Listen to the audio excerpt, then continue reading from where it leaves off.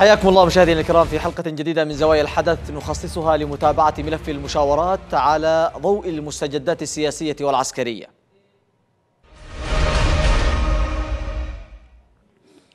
يصل ولد الشيخ إلى صنعاء لبحث مطالب وشروط السلطة الشرعية التي التقى ممثلها في الرياض قبل العودة إلى الكويت لاستكمال الجولة الثانية من المشاورات. قبل وصول ولد الشيخ إلى صنعاء كان مجلس الأمن يدعو الطرفين للعودة إلى طاولة المفاوضات بدون أي شروط إلا أن السلطة الشرعية باتت أكثر حذرا وتصميما على ما يبدو في رفض العودة إلى عملية سياسية لم ينتج عنها سوى مزيد من التنازلات خلال الشهرين الماضيين. تلقت السلطة الشرعية دعما جديدا من الأحزاب السياسية التي دعت لعدم الذهاب إلى الكويت قبل تنفيذ الالتزامات السابقة وتحديد موقف من المرجعيات التي تستند إليها هذه المشاورات فيما كان رئيس الوفد الحكومي يؤكد عدم نية وفده العودة إلى الكويت قبل تحديد جدول زمني للمشاورات. التطور الأهم هو في مجلس الأمن والذي توحي مواقف أطرافه أن هناك انقساما بدأت ملامحه بشكل أوضح للمرة الأولى في مسار الأزمة اليمنية منذ قرابة عامين من عمرها. هل ستلتئم مشاورات الكويت مجددا وعلى أي أساس؟ مع حقيقة التغيير في الموقف الدولي من الأزمة اليمنية؟ وكيف تتعامل الحكومة والتحالف العربي مع هذا التغيير؟ هذه التساؤلات وغيرها ستكون محور نقاشنا لهذا المساء من زوايا الحدث ولكن بعد متابعة هذا التقرير ابقوا معنا.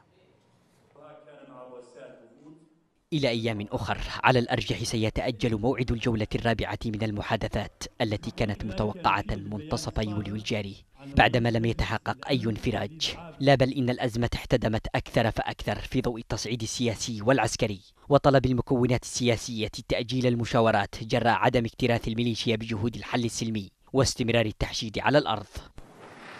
لعل ذلك هو ما أقنع الأمم المتحدة بتجديد الدعوة لعقد المباحثات في موعدها المحدد.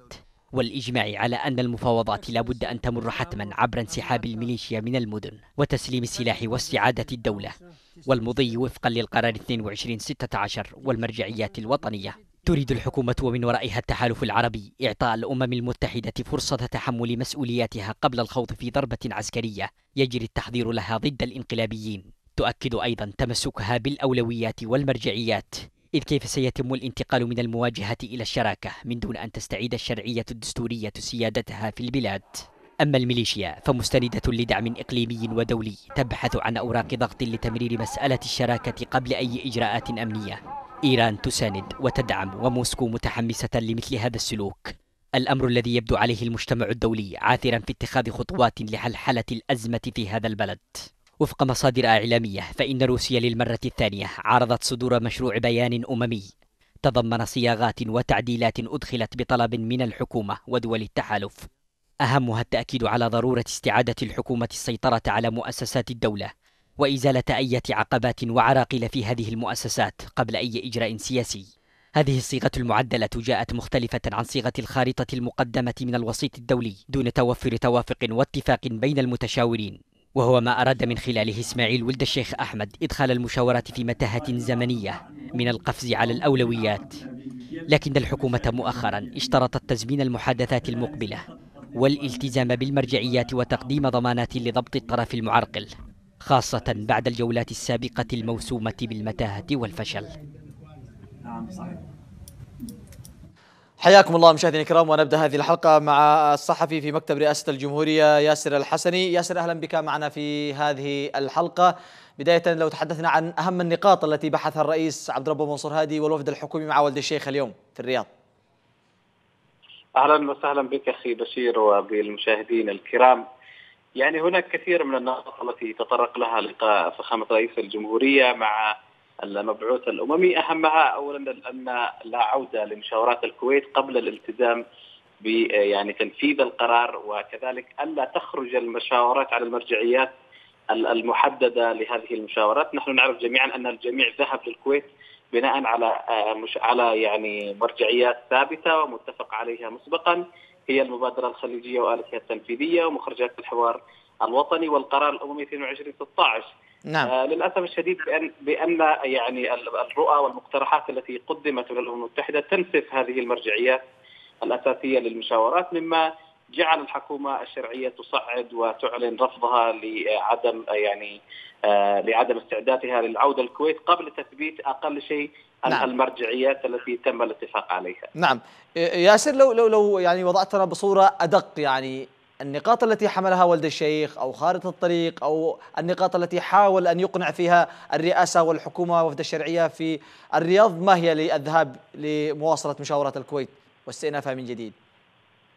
ولد الشيخ يريد أن تبدأ المشاورات على رؤية قدمها وهي يعني أن تبدأ عملية الانسحاب ميليشيا الحوثي بالتزامن مع إعلان تشكيل حكومة توافق وطنية وهذا أمر مرفوض. يعني الحكومة آه، يعني شكلت من قبل يعني قبل آه، سنة من الآن وقبل سنتين في صنعاء فاقتحم الحوثي هذه الحكومة واعتقل الوزراء و حاصر رئيس الجمهورية، نحن لا نريد أن يعني أن تكرر الأخطاء من جديد، لابد أول شيء من علاج المشكلة الأساسية لليمن، نحن نعرف جميعا ما حصل في بلادنا أن هناك انقلاب، لابد أول شيء الانسحاب من المحافظات وتسليم الأسلحة وعودة مؤسسات الدولة والإفراج عن المعتقلين، ثم الحديث عن العملية السياسية أو استئناف العملية السياسية من حيث توقفت، لابد أيضا من تحديد سقف زمني لهذه المشاورات، يعني الحوثي يريد أن يلعب على عامل الوقت، للأسف الشديد بأن المبعوث الأممي لا يهمه إطالة عمر المشاورات، هو يريد أن يحقق أي انتصار شخصي يحسب يعني للمبعوث الأممي في يعني إنجازاته الأممية ولا ولا يكترث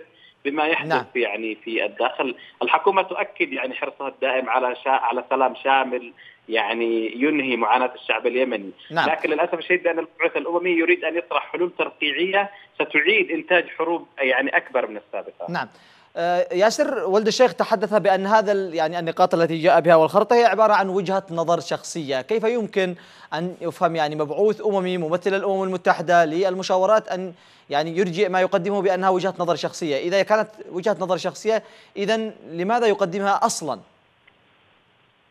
في الحقيقة ولد الشيخ هو تبنى وجهة نظر لبعض اللاعبين والفاعلين الدوليين في والرعاة للقرار الأممي. هذه الرؤية التي تقدم بها كانت رؤية يحملها السفير الأمريكي وسفيرة الاتحاد الأوروبي ف وضعوها على ولد الشيخ. ولد الشيخ أعلن عن هذه الرؤية قبل أن يتفق مع الأطراف حتى الطرف الآخر لم يتفق معه الحكومة. رفضت هذه الرؤية لأنها تفاجأت أن ولد الشيخ يعلن عن اتفاق الطرفين عن هذه النقاط أو على هذه الرؤية فتفاجأ الوفد الحكومي واعلن رفضها.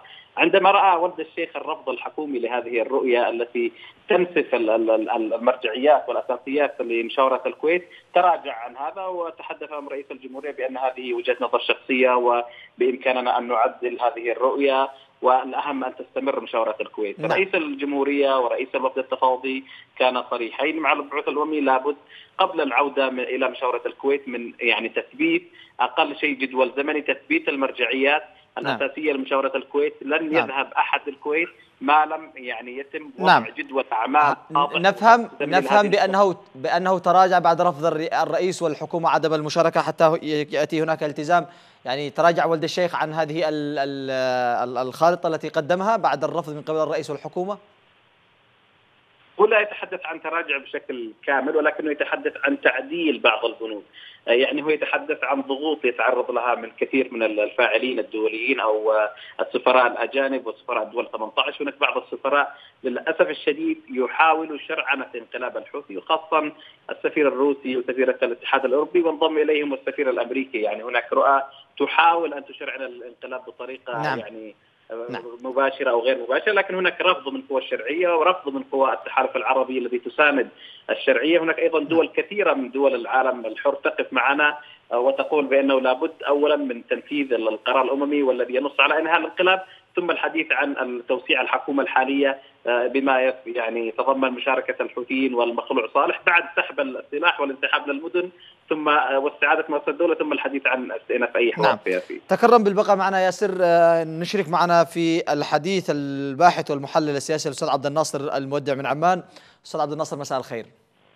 أهلا مساء الخير. أهلا ومرحبا بك أستاذ عبد الناصر لو بدأنا معك من ما يبدو أن هناك انقسام في مجلس الأمن فيما يخص الأزمة اليمنية. آه، ظهر ذلك من خلال إصدار يعني ربما بيانين متتاليين من قبل آه، يعني المجلس آه، من قبل مجلس الأمن وما يعني إذا نظرنا إلى ما تشير هذه هذا الانقسام وإلى ما يشير هكذا بيانات تصدر الواحد تلو الآخر. يعني حتى الآن اولا مساء الخير لك ولضيفك الكريم مساء النور حتى الآن ليس هناك من بيان آلية إصدار بيان رئاسي تتطلب إجماع جميع الدول الأعضاء وعدم تحفظ وعدم اعتراض أي دولة. وهذه الآلية لم تتم. كان هناك ربما رفض الحكومة سعد عبد الناصر رفض الحكومة والرئيس هي ما عرقلت هكذا آه هكذا يعني البيانات التي أصدرت. وأيضا إذا ما تحدثنا عن, عن الصيغة التي قدمها بيانات. الصيغة التي قدمتها الحكومة والتحالف ووقفت روسيا وأمريكا وبريطانيا روسيا وقفت يعني لدعم هذا الرؤية التي قدمتها الحكومة لم يصدر أي بيان أنا كما ذكرت لك لم يصدر نعم. أي بيان البيان الرئاسي آه، لا يصدر إلا بموافقة جميع الدول. هذا يختلف عن القرار. القرار يتطلب موافقة تسعة أعضاء أو عدم اعتراض أي دولة من دول الفيتو. نعم. آه لكن ما حدث هو كان هناك مقترح لصيغة بيان. آه حسب ما ورد في الأخبار كان هناك مقترح لصيغة بيان. تم الاختلاف على حول الصيغة الأولى واختلاف على الصيغة الثانية وبالتالي حتى الآن لم يصدر أي بيان رئاسي. يبدو أن السيناريو الذي كان معد منذ فترة البيان الرئاسي آخر بيان رئاسي حول اليمن كان هو في بداية المفاوضات الكويت. آه هذا البيان أعطى للمبعوث الأممي آه لمدة شهر بأن يضع خطة للسلام وبالتالي خارطة الطريق هذه هي جزء من ذلك ال ال ال السيناريو الذي الذي أيده بيان رئاسي من مجلس الأمن. كان هناك تكملة لهذا السيناريو أن يصدر بيان رئاسي يؤيد الخطة بعد أن تم تجهيزها من قبل المبعوث الأممي ولكن لعدم اتفاق الأطراف اليمنية حول هذه حول خارطة الطريق أكثر من دولة كان لديها تحفظ على البيان الرئاسي وفي الأخير لم يصدر أي بيان رئاسي نعم. ما يحدث في مجلس الأمن بخصوص اليمن أن هناك آه، اولا آه، في ما يشبه الاتفاق في داخل آه، داخل مجلس الأمن وتحديدا لدى الدول الكبار بأن لا يسمحوا للأزمة اليمنية بأن تستمر بصيغتها السابقة بمعنى أن لا تستمر الحرب بصيغتها السابقة وهي اذا اذا السؤال أستاذ عبد الناصر لماذا لا تطبق القرار الأممي الذي جاء الجميع من أجل تنفيذه وأيضا النقاط الخمسة التي تم التوافق عليها في بيال السويسرية؟ يعني هو هذا في في القانون في في الوضع الدولي الراهن.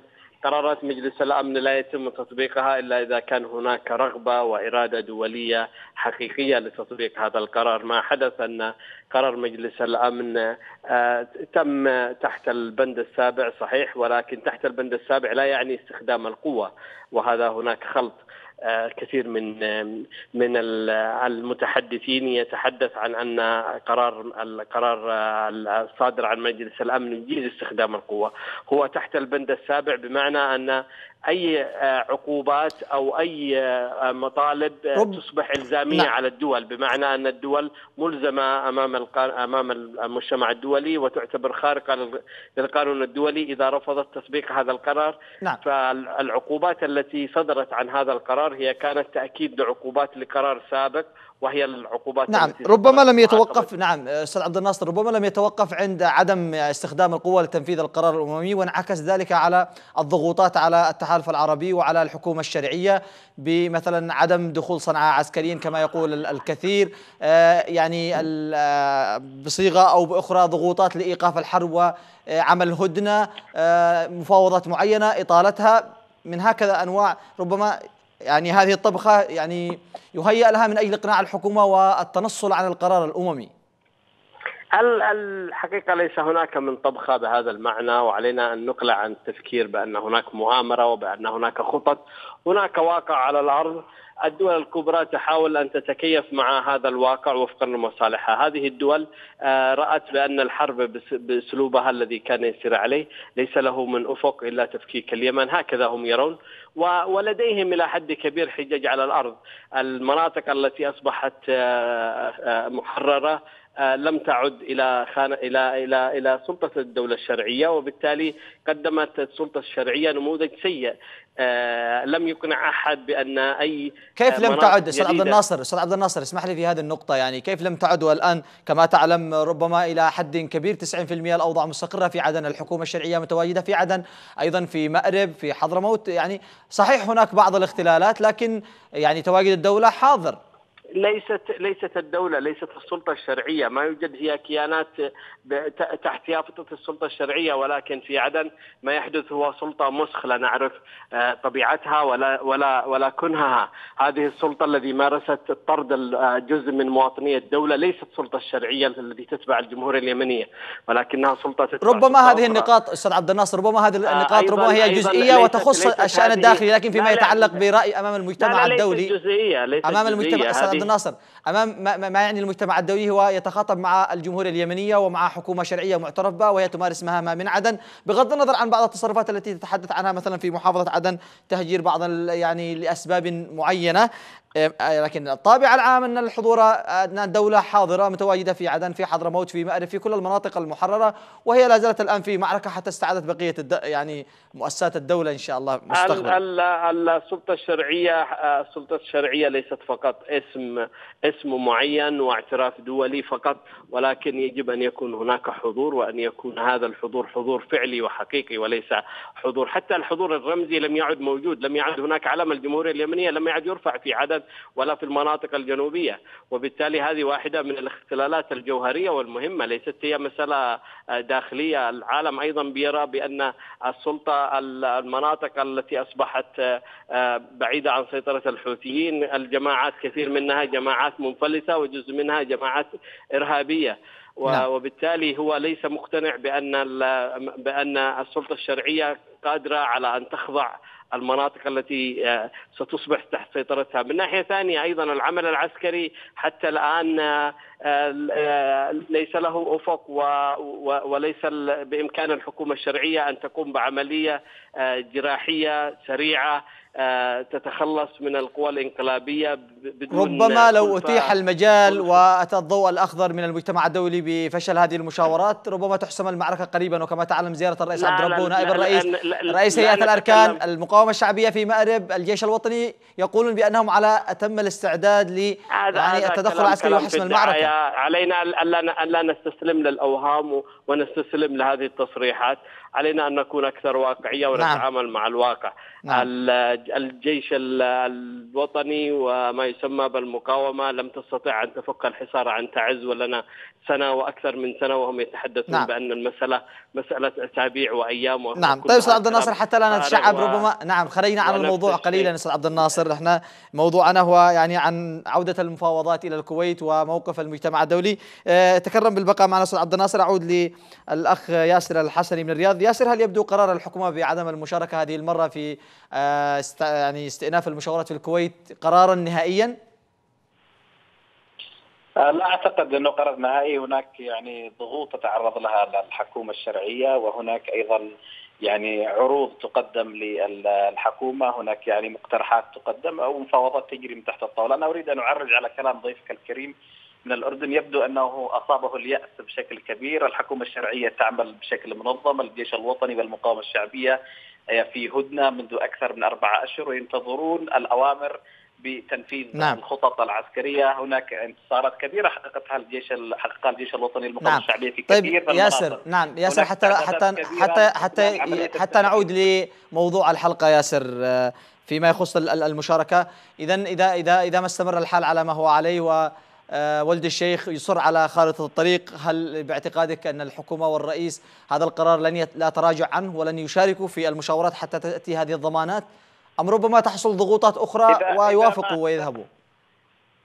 إذا ما أصر المبعوث الأممي على هذه الرؤية التي تشرعن للانقلاب وتنسف القرار الأممي من مضمونه وتحاول أن تعيد الإنتاج الحوثيين تحت يعني إطار أو تحت ما يسمى بالحل السياسي فهذا أمر يعني لن لن تذهب أكيد الحكومة إلى إلى مشاورات الكويت إلا إذا تلقت ضمانات بأن تتم المشاورات أو يتم استئناف المشاورات بناء على القرار الأممي 22 16 والمرجعيات الثلاثة التي يتفق عليها الجميع وأن يتم تزمين سقف المشاورات والا يتم الخروج نهائيا عن هذه المرجعية الثلاث. نعم. للأسف الشديد بأن الأمريكان لكي يعرف الشعب اليمني بأن الأمريكان هم من يعيق الحسم العسكري وهم من قدم خارطة الطريق لولد الشيخ التي تريد أن تشرعن الانقلاب وأن تنقذ الحوثيين نعم. لقاء الرئيس ياسر. نعم. لقاء الرئيس بالسفراء يعني وممثلي نعم ياسر لقاء الرئيس بالسفراء وممثلي الدول الثمانية عشر هل يأتي ضمن مساعي السلطة المحل الشرعية لدعم موقفها من هذه المفاوضات أم للتفاوض حول رؤية وصيغة معينة للعودة للمشاركة في الكويت؟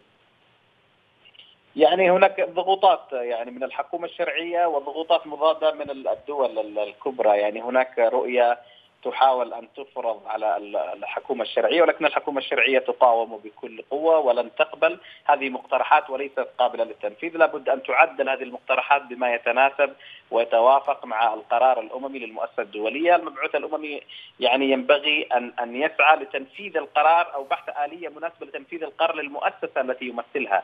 الآن المؤسسة الدولية والأمم المتحدة أمام مسؤولية تاريخية عندما تصدر قرار بهذا الحجم عندما يتعرض شعب ودولة وسلطة لانقلاب من ميليشيا انقلابية دمرت البلاد نعم. ونهبت مقدرات العباد لابد من أن تقف وقفة جادة لبحث آلية لتنفيذ هذا القرار ما لم فإن الحكومة الشرعية اليوم باتت وحلفائها من التحالف العربي باتوا اليوم أكثر إيمانا بالحل العسكري بعد انكشاف اللعبة الدولية التي تتماهى مع الانقلاب أشكرك. على ما يبدو أشكرك جزيل نعم. الشكر نعم الصحفي في رئاسة آه، الجمهورية آه، ياسر الحسني. شكرا جزيلا. كنت معنا عبر الهاتف من الرياض. عودة إلى عمان مع المحلل والباحث السياسي الأستاذ عبد الناصر المودع. أستاذ عبد الناصر إذا آه هذا التباين أو التماهي كما ذكر الأخ ياسر مع الانقلابيين هل تعتقد بأن موقف الأمريكان والبريطانيين لا يزال قويا وداعما للشرعية أم يبدو يعني فقط نزولا عند رغبة المملكة العربية السعودية الحليف السابق لها؟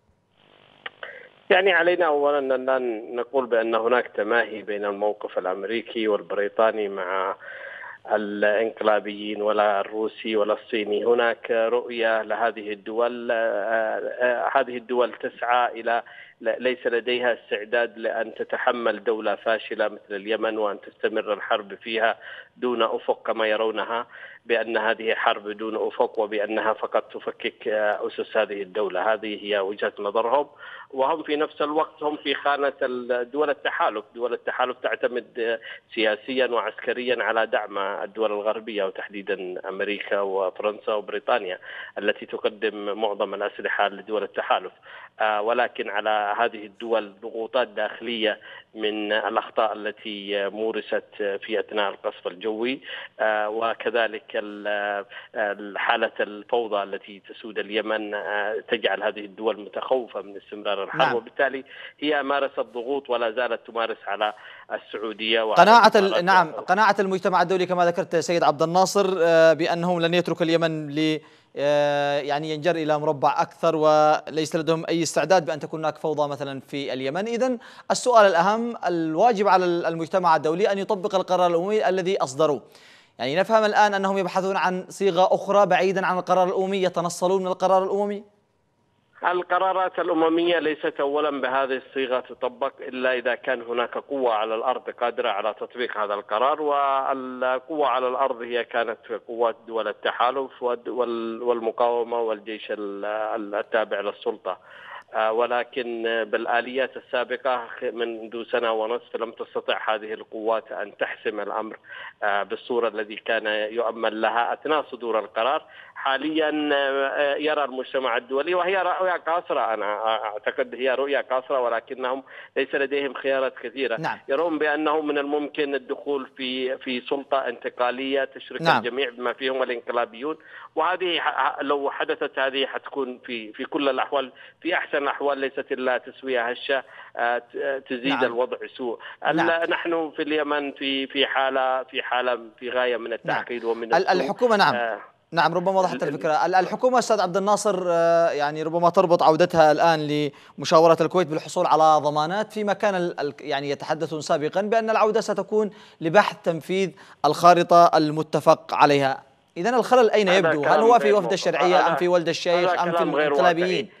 هذا كلام غير واقعي لا يمكن أن منذ البداية كانت الحكومة تقول بأن المفاوضات فقط لتنفيذ القرار، تنفيذ القرار بحذافيره يعني استسلام الطرف الآخر واستسلامه غير ممكن ما دام هو لا زال قوي على الأرض، هو لن يستسلم إلا بالقوة ولن يستسلم هكذا رغبة تحت آه، ضغوطات دوليه أو ضغوطات دبلوماسيه أو ولهذا السبب العودة آه، لن تكون إلا عودة بنفس الصيغة السابقه السابقة أن يعود الجميع للتفاوض حول جميع النقاط آه، وهذه العودة يبدو حاليا حتى دولة الكويت متحفظة لم تعد متحمسة لأن تستضيف مفاوضات ليس لها أفق مفاوضات إلى ما لا نعم. نهاية التقدم الحاصل نعم نهاية. نعم أستاذ عبد الناصر التقدم التقدم الحاصل أخيرا في جبهات القتال خاصة في نهم وفي مأرب وفي الجوف للجيش الوطني والمقاومة الشعبية ألا ترى بأنها مبشرات لنقاط قوة تملكها الحكومة تجبر الميليشيا على يعني التوقيع على كل النقاط المتفق عليها والعودة بهذه المرة بصورة أكثر جدية من السابق.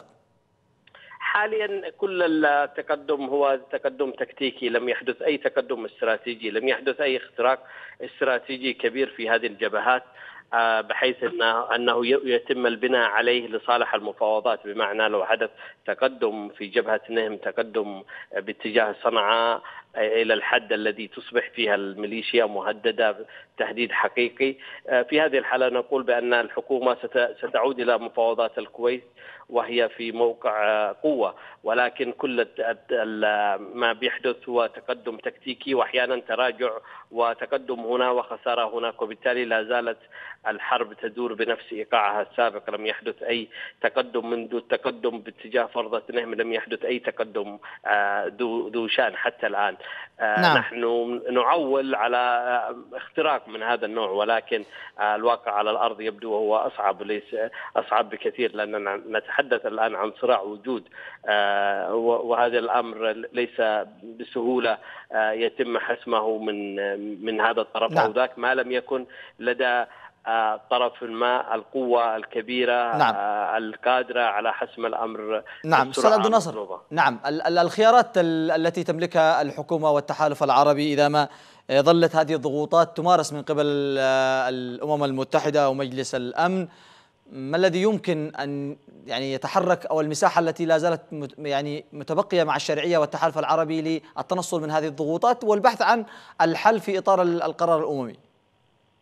يعني الخيارات لو أن الحكومة والتحالف لديهم آه، القدرة العسكرية لإحداث اختراق استراتيجي مهم سريع ودون أن يكون هناك آه، تكلفة إنسانية آه، كبيرة.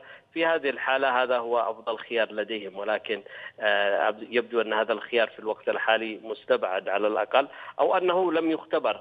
ربما تكون هناك استعدادات لعمل من هذا النوع وربما يكون هناك غض طرف من قبل الدول الكبرى للحكومة لأن تحقق إنجاز عسكري محدود وأقول هنا محدود لا, لا يمكن أن يصل الإنجاز العسكري بالتقدم باتجاه صنعاء لأن هذا التقدم آه، يحمل الكثير من الكلف العسكرية والإنسانية والسياسية التي لا تريد هذه الدول أن تتحمل نتائجها آه، لهذا لو لو كان هناك مثل هذا الأمر في هذه الحالة نقول بأن الحكومة لديها خيار قوي بأن يظل الخيار العسكري آه، مطروح بقوة نعم. آه لكن أشكرك. إذا اذا فقد هذا إذا فقد هذا الخيار لو قامت الحكومة وجربت هذا الخيار وفشل ستكون خياراتها محدودة جدا وبالتالي آه يبدو أن دول التحالف محتاجة إلى إعادة إلى مراجعة للعملية ككل آه بحيث تبحث لها عن منهج آخر في التعامل مع الأزمة في اليمن.